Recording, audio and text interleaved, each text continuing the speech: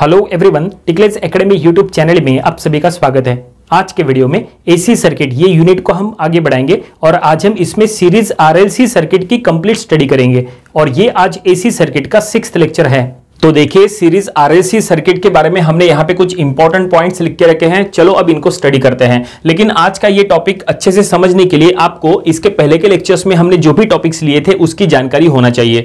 जैसे AC through pure resistance AC through pure inductance AC through pure capacitance then AC through series RL circuit AC through series RC circuit ये सभी topics की जानकारी अगर आपको है तो आप ये टॉपिक जो आज हम स्टडी करने वाले हैं, ये आपको अच्छे से समझ में आएगा। तो इसके पहले के लेक्चर्स आपको हमारे YouTube चैनल पे मिल जाएँगे। वो लेक्चर्स आप स्टडी कर लीजिएगा। उससे आपका एसी सर्किट का पूरा बेसिक कॉन्सेप्ट क्लियर हो जाएगा। ठीक है? तो चलो, यहाँ पे अब स्टार्ट करते हैं स्टडी करना। तो यहाँ पे देखो हमने हेडिंग लिखा है सबसे पहले सीरीज़ एसी सर्किट ठीक है? और इसके अंदर हम लोग यहाँ पे टॉपिक स्टडी कर रहे हैं सीरीज़ आरएलसी सर्किट यहाँ पे सबसे इंपॉर्टेंट क्या है? सबसे इंपॉर्टेंट है वर्ड सीरीज़ ठीक है? आर तीनों को यहाँ पे सीरीज़ में लिया है। आर माने रेजिस्टेंस एल माने इंडक्टेंस और सी माने कैपेसिटेंस तीनों अगर सीरीज़ में हो, और अगर आप उसको एसी वोल्टेज अप्लाई कर रहे हैं तो वोल्टेज के वजह से जो करंट फ्लो होगा, वो करंट लीड करेगा या लैक करेगा या फ़ेज़ में रहेगा, वो हमें यहाँ पे स्टडी करना है और उसका फेजर डायग्राम भी स्टडी करना है। तो चलो यहाँ पे हम स्टडी करते हैं तो ये देखिए, इसके लिए ये एक सर्किट डायग्राम यहाँ पे ड्रॉ किया है। देखो, ये सर्किट डायग्राम में आपको क्या दिखाई दे रहा है? यहाँ पे आपको तीन कंपोनेंट दिखाई दे रहे हैं। पहला है रेजिस्टेंस ठीक है आर जो कि जिसका यूनिट रहेगा ओहम दूसरा कंपोनेंट है इंडक्टेंस जो कि है एल और इसका यूनिट रहेगा हेनरी और तीसरा कंपोनेंट है कैपेसिटेंस जो कि सी है और इसका यूनिट रहेगा फेरेड ठीक है? तो यहाँ पे तीनों की तीनों ये सीरीज़ में है और ये सीरीज़ फॉर्म में ये सर्किट बनाया है और इसके अक्रॉस हम यहाँ पे वोल्टेज अप्लाई कर रहे हैं। ठीक है? ये यहाँ पे जो आप वोल्टेज अप्लाई करेंगे, ये एक अल्टरनेटिंग वोल्टेज रहेगा और अल्टरनेटिंग वोल्टेज का ये स्टैंडर्ड इक्वेशन रहेगा V is equal to V M sine of omega T ये अल्टरनेटिंग वोल्टेज का इक्वेशन कैसे बनता है? ये हमने एसी सर्किट के फ़र्स्ट लेक्चर में बताए थे। तो अगर आपने फ़र्स्ट लेक्चर नहीं स्टडी किए हैं तो आप यहाँ से स्टडी कर लीजिएगा। AC voltage V is equal to V M sine of omega T कैसे बनता है? वो कॉन्सेप्ट आपका उसमें क्लियर हो जाएगा।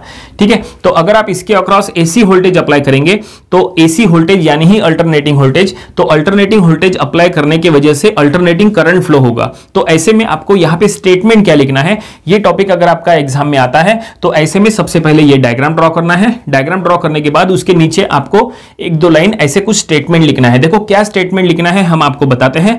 तो ये स्टेटमेंट आप जरा ध्यान से सुनिए, काफ़ी इंपॉर्टेंट ये स्टेटमेंट रहेगा। तो स्टेटमेंट ऐसा है when an alternating voltage V is equal to V M sine of omega T is applied across series RLC circuit then the resulting current is also alternating and depending upon the load condition the current may be either leads the applied voltage lags the applied voltage or it is in phase with the applied voltage देखो ये हमने जो statement बताया है ये काफ़ी important है आपको ये सर्किट के नीचे ऐसा स्टेटमेंट लिखना है ये स्टेटमेंट का क्या मतलब है तो स्टेटमेंट का मतलब ये है कि अगर अगर आप सीरीज़ आरएसी सर्किट के अक्रॉस अगर आप अल्टरनेटिंग वोल्टेज अप्लाई करेंगे जो कि रहेगा V is equal to V M sine of omega T ये अगर आप alternating voltage series RAC circuit के अक्रॉस अगर अप्लाई करेंगे तो इसके वजह से जो करंट फ्लो होगा, वो भी अल्टरनेटिंग फॉर्म में रहेगा और ये करंट लोड कंडीशन के ऊपर डिपेंड करते हुए ये करंट या तो वोल्टेज को लीड करेगा, या तो वोल्टेज को लैक करेगा, या तो वोल्टेज के फ़ेज़ में रहेगा। ये सब कुछ डिपेंड करता है लोड कंडीशन के ऊपर। अब ये लोड कंडीशन का क्या मतलब है? तो तीन टाइप की लोड कंडीशन बनती है। पहला है इंडक्टिव लोड कंडीशन सेकंड है कैपेसिटिव लोड कंडीशन और तीसरी है रेजिस्टिव लोड कंडीशन। ये तीन टाइप की लोड कंडीशन यहाँ पे बन सकती है, क्योंकि यहाँ पे देखो, यहाँ पे तीन कंपोनेंट लगे हैं, रेजिस्टेंस, इंडक्टेंस, कैपेसिटेंस, ठीक है? तो यहाँ पे लोड डिफरेंट डिफरेंट टाइप का हो सकता है, रेजिस्टिव लोड या इंडक्टिव लोड या कैपेसिटिव लोड। इसके बारे में हम आपको आगे बताएँगे, लेकिन ये सबसे इंपॉर्टेंट है कि करंट वोल्टेज को लीड करेगा या लैक करेगा या फ़ेज़ में रहेगा यह सब कुछ डिपेंड करता है लोड कंडीशन के ऊपर, ठीक है? अब चलो हम आगे देखते हैं कि इसका क्या अर्थ रहेगा। तो यहाँ पे हमने आपको अल्टरनेटिंग वोल्टेज का इक्वेशन बता दिए। देखो, V is equal to V M sine of omega T ये हमने आपको अल्टरनेटिंग वोल्टेज बता दिए।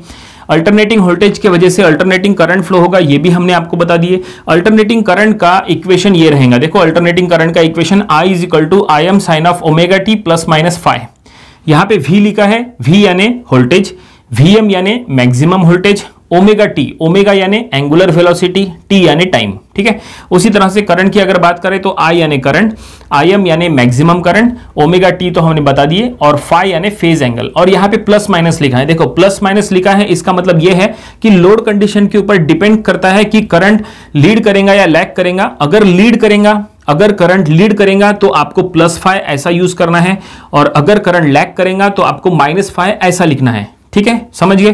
तो अब देखो, यहाँ पे अगर आप नीचे देखेंगे तो यहाँ पे हमने दो और फॉर्म रखे हैं। प्रॉब्लम सॉल्व करते समय आपको वोल्टेज का ये फॉर्म यूज़ करना है और करंट का ये फॉर्म यूज़ करना है। ठीक है? वोल्टेज का फॉर्म क्या है? V is equal to V M at an angle of zero देखो, ये जो वोल्टेज का इक्वेशन है, इसमें यहाँ कोई एंगल आपको दिखाई दे रहा है क्या? नहीं। तो यहाँ पे है V M at an angle of zero यहाँ से सिर्फ़ आपको वी एम का वैल्यू मिलता है। एंगल यहाँ पे यहाँ पे कोई भी टाइप का फ़ेज़ एंगल नहीं मिलता है। एंगल यहाँ पे ज़ीरो है।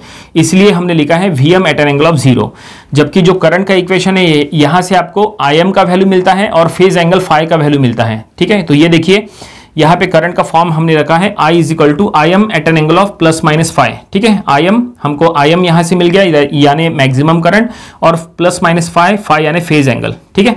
वोल्टेज का यूनिट रहेगा होल्ट और करंट का यूनिट रहेगा एम्पियर ठीक है? तो ये हमने अल्टरनेटिंग वोल्टेज और अल्टरनेटिंग करंट की आपको पूरी जानकारी दे दी है। और ये हमने आपको सीरीज़ फॉर्म में बता दिए कि लोड कंडीशन के ऊपर डिपेंड करता है कि करंट वोल्टेज को लीड करेगा या लैक करेगा या फ़ेज़ में रहेगा। ठीक है? ये सीरीज़ फॉर्म में है। अगर आपको प्योर फॉर्म में सुनना है, जैसे अगर यहाँ पे ओनली रेजिस्टेंस हो या ओनली इंडक्टेंस हो या ओनली कैपेसिटेंस हो तो वो प्योर फॉर्म होता है। तो उसके ऊपर ऑलरेडी इसके पहले स्टार्टिंग में हमने वीडियोज़ अपलोड किए थे, वो वीडियोज़ आप देख लीजिएगा। अगर यहाँ पे प्योर रेजिस्टेंस हो तो करंट वोल्टेज के फ़ेज़ में रहता है। अगर यहाँ प्योर इंडक्टेंस हो तो करंट वोल्टेज को लैक करता है बाई 90 डिग्री और अगर यहाँ पे प्योर कैपेसिटेंस हो तो करंट वोल्टेज को लीड करता है बाई 90 डिग्री ठीक है? ये प्योर फॉर्म में होता है, लेकिन ये सीरीज़ फॉर्म में है फ़िलहाल तो लोड कंडीशन के ऊपर डिपेंड करता है। तो यहाँ तक हमने स्टडी कर लिए अब देखो, ये करंट अगर हमें फाइंड आउट करना है तो करंट फाइंड आउट करने के लिए फार्मूला क्या रहेगा? देखो करंट फाइंड आउट करने का फार्मूला आपके सामने है। Current I equal to V by Z ये एक्चुअली ओम्स लॉ का फार्मूला है। ओम्स लॉ के अकॉर्डिंग ओम्स लॉ का फार्मूला होता है current I equals to V by R ये ओम्स लॉ का स्टैंडर्ड फार्मूला होता है। वी माने वी जो है वो होल्ट में होता है और जो आर माने रेजिस्टेंस है वो ओहम में होता है। इसका मतलब ये है कि यहाँ पे हमें होल्ट दैट इज़ वी चाहिए और यहाँ पे हमें जो जो भी होना वो ओहम में चाहिए। इसका मतलब वी बाय ओहम के फॉर्म में हमें चाहिए। ये देखो, ये जो फार्मूला है, ये ओम्स लॉ के अकॉर्डिंग है। I equals to V by Z V यानी वोल्टेज ठीक है? और जेड माने इंपिडेंस हमने यहाँ पे इंपिडेंस का यूज़ किया है। इंपिडेंस देखो, यहाँ लिखा है वेयर जेड यानी इंपिडेंस और इंपिडेंस का यूनिट होता है ओहम, ठीक है? यहाँ पे इंपिडेंस हमने यूज़ क्यों किया है? उसका रीजन ये है क्योंकि यहाँ पे ये तीनों सीरीज़ में है। हमें क्या करना होता है? तीनों का ओहम यहाँ पे ऐड करना होता है। जबकि सिर्फ़ रेजिस्टेंस ओहम में है एल और सी जो है वो हेनरी और फेरेड में है। तो हमें क्या करना है? ये हेनरी और फेरेड को यहाँ पे ओहम में कन्वर्ट करना है। हेनरी और फेरेड को ओहम में कन्वर्ट करने के लिए हमें एक्स का यूज़ करना है। एक्स यानी रिएक्टेंस देखो एक्स एक्स यानी क्या होता है? रिएक्टेंस होता है। और रिएक्टेंस का यूनिट होता है ओहम। हम क्या कर सकते हैं? ये हेनरी और फेरेड को एक्स का यूज़ करके ओहम में कन्वर्ट कर सकते हैं। तो ये एल को, देखो, ये जो हेनरी है, जो कि इंडक्टेंस का यूनिट है, इसका मतलब एल एल को हमें एक्सेल बनाना पड़ेगा। अगर आप एल को एक्सेल बनाओगे तो वो आ, उसका यूनिट ओहम हो जाएगा। उसी तरह से सी को अगर आप एक्सी बनाओगे तो फिर वो ओहम हो जाएगा। और फिर ये तीनों का ओहम जब आप ऐड करेंगे तीनों का ओहम ऐड करने के बाद हमें टोटल ओहम मिल जाएगा। टोटल ओहम जो मिलेगा उसको आप जेड के थ्रू ऐड यहाँ पे कर सकते हैं। जेड यानी इंपिडेंस तो इंपिडेंस के थ्रू तीनों का ओहम हमें ऐड करना है। तो हमने इसलिए यहाँ पे लिखा है that is total current equals to total voltage by total impedance ऐसा है। ये टोटल करंट है। Total current flowing through the circuit is equal to total voltage applied across the circuit and total impedance यानी total ohm across the circuit पूरे के पूरे circuit का जो टोटल ओहम है, वो यहाँ पे हमें यूज़ करना है। दैट इज़ इंपिडेंस के थ्रू ठीक है? अब यहाँ पे देखते हैं एक्सेल और एक्सी क्या है, वो हम आपको आगे बताएँगे। देखो, यहाँ पे ये जो जेड है, वो जेड का फार्मूला ये होता है। देखो, जैसा हमने कहा कि जेड के थ्रू आपको क्या करना है, तीनों का ओहम हमें ऐड करना है। तो ऐड करने का प्रोसेस क्या है? देखो ऐड करना है मतलब ऐसा नहीं कि सीधा सीधा तीनों को प्लस करना है, ऐसा नहीं।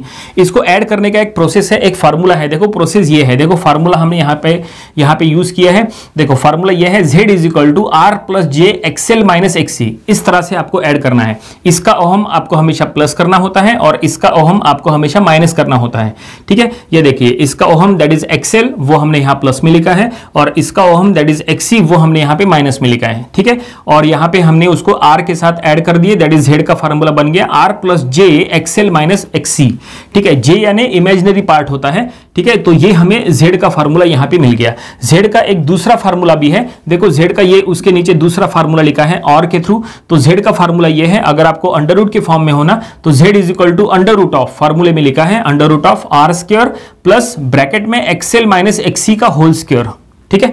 तो ये दोनों फार्मूले में डिफरेंस क्या है? देखो डिफरेंस हम आपको अब बता देते हैं। ये डिफरेंस ये है कि ये जो पहला फार्मूला है, ये पहले फार्मूले के थ्रू आपको जेड का मैग्नीट्यूड भी मिलता है और फ़ेज़ एंगल फाइव भी मिलता है। ठीक है, अगर आप ये फार्मूला यूज़ करेंगे तो तो आपको इंपेडेंस का मैग्नीट्यूड और फ़ेज़ एंगल फाइव दोनों मिलता है इसके थ्रू लेकिन अगर आप ये फार्मूला यूज़ करेंगे तो ये फार्मूले के थ्रू आपको सिर्फ़ जेड का मैग्नीट्यूड मिलता है। आपको सिर्फ़ यहाँ पे रियल टर्म मिलता है मैग्नीट्यूड आपको फ़ेज़ एंगल फाइव नहीं मिलता। फिर आपको फ़ेज़ एंगल फाइव अलग से फाइंड आउट करना पड़ता है। फ़ेज़ एंगल फाइव अलग से फाइंड आउट करने के लिए फार्मूला एक अलग आता है। देखो फार्मूला हमने यहाँ पे लिखा है। फ़ेज़ एंगल फाइव का फार्मूला यहाँ पे tan inverse of XL minus XC numerator में है और डिनोमिनेटर में है आर ठीक है, ये फार्मूले का यूज़ करके आप फ़ेज़ एंगल फाइव अलग से निकाल सकते हैं। ठीक है तो ये दोनों फार्मूले हमने आपको बता दिए। वैसे प्रॉब्लम सॉल्व करते समय अगर आप ज़्यादातर ये फार्मूला अगर आप यूज़ करेंगे तो ज़्यादा बेटर रहेगा। ये फार्मूला यूज़ करने से आपको जेड दैट इज़ इंपिडेंस का मैग्नीट्यूड और फ़ेज़ एंगल फाइव दोनों एक साथ मिलते हैं। ठीक है, लेकिन अगर आप ये फार्मूला यूज़ करते हैं तो फ़ेज़ एंगल फाइव निकालने के लिए आपको अलग कैलकुलेशन करना पड़ेगा, अलग फार्मूला यूज़ करना पड़ेगा। ठीक है तो ये हमने आपको दोनों तरीके बता दिए। तो ये हो गया जेड के बारे में। लेकिन ये जेड जो है, वो हमने एक्सेल और एक्सी का यूज़ करके यहाँ पे फाइंड आउट किया है। एक्सेल थोड़ी देर पहले हमने आपको बताए थे यहाँ पे एक्सेल देखो, ये एल है। एल जो कि हेनरी में है, ठीक है? इसको अगर आपको ओहम में कन्वर्ट करना है तो एक्स का यूज़ करना है। एक्स यानी रिएक्टेंस तो इसके थ्रू हम बनाएँगे एक्सेल तो ये देखो एक्सेल का फॉर्मूला हमने यहाँ पे लिखा है।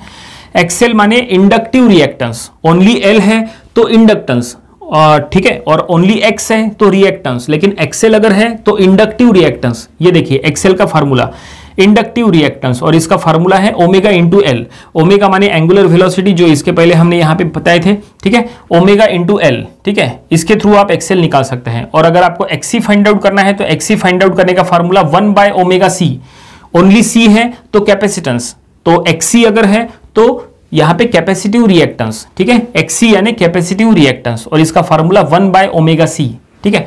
और ओमेगा का ये स्टैंडर्ड यहाँ पे वैल्यू होता है, देखो ओमेगा का value that is two pi F ये ओमेगा का स्टैंडर्ड वैल्यू है टू पाई एफ़ एफ़ यानी फ्रीक्वेंसी तो अगर आप ओमेगा का ये वैल्यू अगर आप यहाँ पे पुट करते हैं, और यहाँ पे पुट करते हैं तो देखो एक्सेल का फार्मूला ये बनता है, देखो एक्सेल का ये फार्मूला बन गया that is XL is equal to two pi F L देखो ओमेगा के जगह टू पाई एफ़ आ गया इंटू एल तो एक्सेल का formula two pi F L और अगर एक्सी फाइंड आउट करना है तो एक्सी के लिए देखो, आपको क्या करना है? ओमेगा का ये वैल्यू यहाँ पे पुट करना है।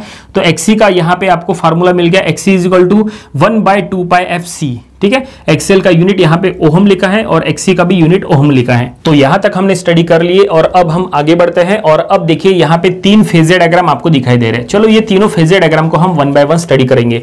लेकिन उसके लिए आपको लोड कंडीशन की जानकारी होना चाहिए। देखो लोड कंडीशन हमने स्टार्टिंग में आपको तीन टाइप के लोड बताए थे। Inductive load capacitive load resistive load अब उसके बारे में हमें देखना है तो यहाँ पे देखिए, यहाँ पे तीन आपको कंपोनेंट दिखाई दे रहे हैं आर एल सी एल के थ्रू आपको एक्सेल मिलता है और सी के थ्रू आपको एक्सी मिलता है। लेकिन कोई भी प्रॉब्लम सॉल्व करते समय एक्सेल और एक्सी का वैल्यू जो है, वो वेरी करता है। कभी एक्सेल का वैल्यू ज़्यादा रहता है, कभी एक्सी का वैल्यू ज़्यादा रहता है, कभी दोनों का वैल्यू सेम रहता है। तो उसी के ऊपर डिपेंड करता है। देखो, अगर अगर सर्किट में एक्सेल का वैल्यू अगर एक्सी से ज़्यादा है तो देखो ये पहला केस बनता है। देखो, पहला केस पहले केस में क्या लिखा है? If XL is greater than XC अगर एक्सेल का वैल्यू अगर एक्सी से ज़्यादा है ऐसे में क्या होता है, देखो, अगर यहाँ सर्किट में एक्सेल का वैल्यू अगर एक्सी से ज़्यादा है, ऐसे में ये सर्किट आरएल सर्किट की तरह बिहेव करेगा।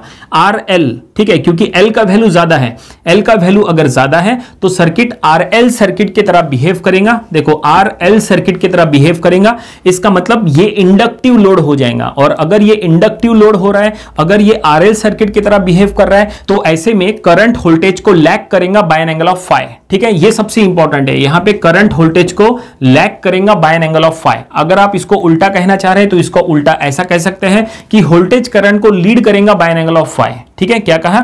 RL circuit. देखो, इसके लिए आपको आरएल सर्किट की जानकारी होना चाहिए। इसके पहले हमने आरएल सर्किट लिए थे, आरसी सर्किट लिए थे, उसमें हमने ये सारी चीज़ें बताए थे।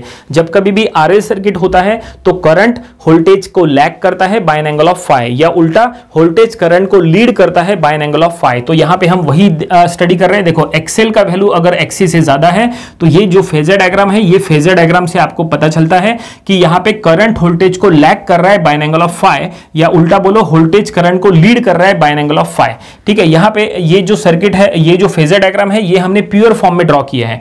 देखो, यहाँ पे जो करंट है, उसको हमने रेफरेंस एक्सिस के अलॉन्ग लिया है। ये मेन करंट है टोटल करंट ये जो टोटल करंट फ्लो हो ये वो है। ये टोटल करंट फ्लो हो ये हमने रेफरेंस एक्सिस के अलॉन्ग लिया है। और यहाँ पे देखो, ये ज़ीरो से ऊपर, ये हमने वीएल लिया है और ज़ीरो से नीचे वीसी लिया है। ज़ीरो से ऊपर ये जो हमने वीएल लिया है वीएल यानी वोल्टेज अक्रॉस इंडक्टेंस या और ये वीसी यानी वोल्टेज अक्रॉस कैपेसिटेंस ठीक है? और यहाँ पे ये प्योर फॉर्म में है। देखो, ये आर के अक्रॉस जो वोल्टेज रहेगा, वो रहेगा वी आर ठीक है? एल के अक्रॉस जो वोल्टेज रहेगा, वो रहेगा वी एल और सी के अक्रॉस जो वोल्टेज रहेगा, वो रहेगा वी सी ठीक है? इस तरह से। तो ये प्योर फॉर्म में हमने यहाँ पे शो किया है। ये देखिए एल ये सी और ये वीआर ठीक है? लेकिन यहाँ पे हम कंडीशन कौन सी स्टडी कर रहे हैं? कंडीशन है XL greater than XC XL का वैल्यू एक्सी से ज़्यादा है। तो जब एक्सेल का वैल्यू एक्सी से ज़्यादा रहेगा तो ऐसे में जो करंट फ्लो होगा, वो इंडक्टेंस के अकॉर्डिंग फ्लो होगा। और ऐसे में यहाँ पे वोल्टेज रहेगा वीएल माइनस क्योंकि एक्सेल एक्सी से ज़्यादा है तो वीएल भी वीसी से ज़्यादा रहेगा। ठीक है? तो ऐसे कंडीशन में देखो यहाँ पे वीएल माइनस वीसी के अक्रॉस का फेजर यहाँ पे है। ठीक है? रेजिस्टेंस के अक्रॉस का फेजर ये है और ये दोनों को फेजर को जब आप ऐड कर लेंगे तो देखो यहाँ से हमने एक पैरेलल लाइन ड्रॉ किए। पैरेलल लाइन इसको वीआर को हमने यहाँ से पैरल बना दिए और यहाँ से हमने एक पैरल बना दिए वीएल माइनस वीसी को और दोनों यहाँ पे इंटरसेक्ट हो रहे हैं। देखो, ये इंटरसेक्टिंग पॉइंट से हमने मेन वोल्टेज दैट इज़ यहाँ पे टोटल वोल्टेज यहाँ पे हमने शो किया है।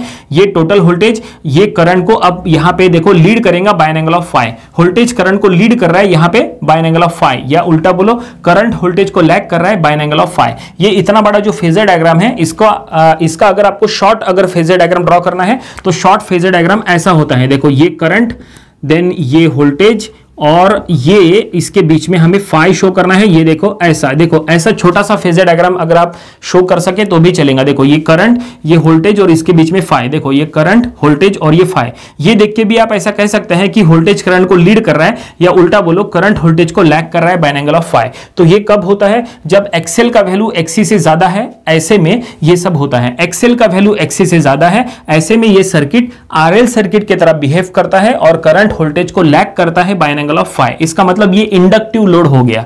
और अब सेकंड कंडीशन के बारे में देखते हैं। देखो सेकंड कंडीशन में इसका उल्टा रहेगा टोटली उल्टा। सेकंड कंडीशन में यहाँ लिखा है, क्या है? देखो second condition when XC is greater than XL अगर एक्सी का वैल्यू एक्सेल से अगर ज़्यादा हो, ठीक है? इसका मतलब कैपेसिटेंस का वैल्यू अगर इंडक्टेंस से ज़्यादा है ऐसे में ये जो सर्किट है, ये आरसी सर्किट की तरह बिहेव करेगा। थोड़ी देर पहले इसके टाइम ये सर्किट आरएल सर्किट की तरह बिहेव कर रहा था और करंट वोल्टेज को लैक कर रहा था। लेकिन ये कंडीशन जब रहेंगी when XC greater than XL तो इसके टाइम ये सर्किट आरसी सर्किट की तरह बिहेव करेगा। जब ये आरसी सर्किट की तरह बिहेव करेगा, इसका मतलब वो हो जाएगा कैपेसिटिव लोड और ऐसे में करंट वोल्टेज को लीड करेगा बाइन एंगल ऑफ़ फाइव थोड़ी देर पहले इसके, यहाँ पे हमने स्टडी किए थे कि करंट वोल्टेज को लैक करेगा। लेकिन इसके टाइम देखो, इसके टाइम करंट वोल्टेज को लीड करेगा बाय एंगल ऑफ़ फाइव क्योंकि ये सर्किट आरसी सर्किट की तरह बिहेव करेगा। ठीक है? अगर करंट वोल्टेज को लीड करेगा बाय एंगल ऑफ़ फाइव तो आप इसका उल्टा बोलो कि वोल्टेज करंट को लैक करेगा बाय एंगल ऑफ़ फाइव तो ऐसे में फेजर डायग्राम आपके सामने है। देखो फेजर डायग्राम में क्या दिखाई दे रहा है? फिर से हमने करंट को रेफरेंस एक्सिस के अलॉन्ग लिया है। ये वीएल ये वीसी जो कि स्टैंडर्ड फॉर्म में है। ठीक है? यहाँ पे ज़ीरो ठीक है? और यहाँ पे देखो, यहाँ से नीचे जो फेजर हमने लिया है, वो है वीसी माइनस वी एल क्योंकि यहाँ पे जो वोल्टेज रहेगा, ठीक है? यहाँ पे वीसी माइनस वीएल रहेगा, क्योंकि इसका वैल्यू ज़्यादा है तो वीसी माइनस वीएल वो एक वोल्टेज हो जाएगा, ठीक है? तो वो हमने यहाँ पे नीचे लिया है, और ये वी आर ठीक है, ये प्योर फॉर्म में हमने लिया है और अब इन दोनों का फेजर जब आप यहाँ पे प्लस कर लेंगे तो यहाँ पे क्रॉस सेक्शन पॉइंट से टोटल वोल्टेज भी हम शो कर सकते हैं। तो ये हमने टोटल वोल्टेज भी शो किया है और ये वी जो है, ये अप्लाइड या, ये जो वी है, ये करंट को यहाँ पे लैक कर रहा है बाइन एंगल ऑफ़ फाइव ठीक है, आप इसका शॉर्ट अगर फेजर डायग्राम ड्रॉ करना चाहते हैं तो शॉर्ट फेजर डायग्राम कुछ ऐसा हो सकता है। देखो, ये करंट आए और ये वी और यहाँ पे फाइव ठीक है, इसका मतलब ये जो फेजर डायग्राम थोड़ी देर पहले बनाए थे, इसका उल्टा फेजर डायग्राम आप यहाँ ड्रॉ कर सकते हैं। ये देख के आप कह सकते हैं कि करंट वोल्टेज को लीड कर रहा है बाइन एंगल ऑफ़ फाइव या उल्टा बोलो, वोल्टेज करंट को लैक कर रहा है बाइन एंगल ऑफ़ फाइव ठीक है? तो ये प्योर फॉर्म में है, ये हमने डायरेक्टली यहाँ पे ड्रॉ किए एग्ज़ाम में ड्रॉ करते समय आपको ये ड्रॉ नहीं करना है, ठीक है? ये सिर्फ़ हमने आपको अभी समझाने के लिए बताया है। एग्ज़ाम में अगर कंडीशन आई तो आपको ये कंडीशन ये कंडीशन आपको, ये पूरा phasor diagram as it is आपको ड्रॉ करना है, आपको फुल मार्क्स मिलेंगे, कोई दिक्कत नहीं है, ठीक है? तो ये सबसे इंपॉर्टेंट था। यहाँ पे कि एक्सेल अगर एक्सी से ज़्यादा है तो क्या होगा? और एक्सी अगर एक्सेल से ज़्यादा है तो क्या होगा? तो ये आप दिमाग में फिट करो कि अगर एक्सेल का वैल्यू एक्सी से ज़्यादा है तो सर्किट आरएल सर्किट की तरह बिहेव करेगा और करंट वोल्टेज को लैक करेगा बाय एंगल ऑफ़ फाइव और अगर एक्सी का वैल्यू एक्सेल से ज़्यादा हो तो सर्किट आरसी सर्किट की तरह बिहेव करेगा और करंट वोल्टेज को लीड करेगा बाय एंगल ऑफ़ फाइव ठीक है? ये दोनों कंडीशन सबसे इंपॉर्टेंट है। लेकिन एक और कंडीशन आती है। एक और कंडीशन थर्ड कंडीशन देखो थर्ड कंडीशन हमने यहाँ पे लिखी है, जिसमें एक्सेल और एक्सी का वैल्यू सेम हो सकता है। अगर प्रॉब्लम में एक्सेल और एक्सी दोनों का वैल्यू अगर सेम हो, ऐसे में क्या होगा? तो अगर एक्सेल और एक्सी दोनों का वैल्यू अगर सेम हो तो सर्किट आरएल सर्किट भी नहीं और आरसी सर्किट भी नहीं। दोनों की तरह बिहेव नहीं करेगा। सर्किट रेजिस्टिव सर्किट हो जाएगा और वो pure form pure resistive form में चले जाएगा और करंट वोल्टेज के फ़ेज़ में रहेगा। देखो, इसके लिए फेजर डायग्राम हमने यहाँ ड्रॉ करके रखा है। यहाँ पे आप देख सकते हैं कि ये टोटल करंट है। ठीक है? ये वी आर देखो यहाँ पे वी आर जो पहले यहाँ पे था, ठीक है? यहाँ पे करंट के अक्रॉस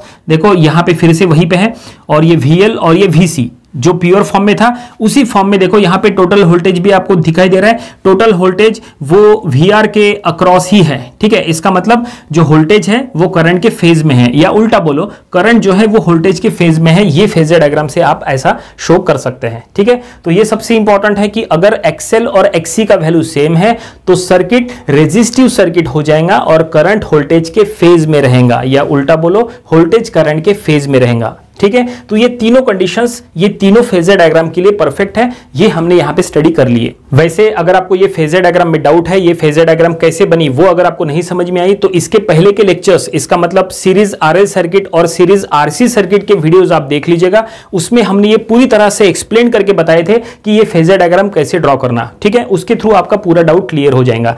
वैसे आने वाले दिनों में जब हम इसके प्रॉब्लम्स लेंगे तो इसके प्रॉब्लम्स में हमें number of phasor diagrams draw करना है। उसमें भी ये कॉन्सेप्ट आपका क्लियर क्लियर हो जाएगा। तो फ़िलहाल यहाँ पे हमने सीरीज़ आरएलसी सर्किट पूरी तरह से स्टडी कर लिया है। उम्मीद करते हैं कि ये पूरा सीरीज़ आरएलसी सर्किट का कॉन्सेप्ट आपको समझ में आ गया होगा। यहाँ पे हमने जितने भी फार्मूले स्टडी किए हैं, ये सभी फार्मूलेज आपको अपनी नोटबुक में लिख लेना चाहिए। ये सभी फार्मूलेज काफ़ी इंपॉर्टेंट है, क्योंकि इसके प्रॉब्लम सॉल्व करते समय ये सभी फार्मूलेज आपके पास होना चाहिए तो आप कोई भी टाइप का प्रॉब्लम आसानी से सॉल्व कर सकते हैं। तो आज की वीडियो में फ़िलहाल इतना ही। ये था आज का आरएलसी सर्किट का लेक्चर मिलते हैं अगले वीडियो में। Thank you very much.